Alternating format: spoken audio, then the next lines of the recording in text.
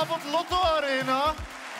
Welkom bij XDR 15. Vanavond vieren we 15 jaar Xander de Rijke, namelijk mezelf. Maar we vieren vooral 15 jaar comedy.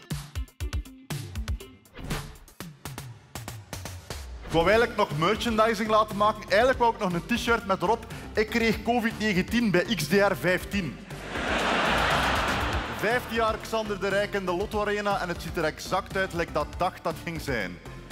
Ik sta precies het vaccinatiecentrum van Flanders Expo op te treden. het confronterende aan 15 jaar aan stand-up shows herbeluisteren en herbekijken is dat dat een tijdmachine is. Roef, roef, roef. bliep die bloep die bliep. Hey Piggy! Hey de Piggy! Duk, duk, duk, duk, duk, duk. Plats! Vakwafel! ja, Piep! Kurt!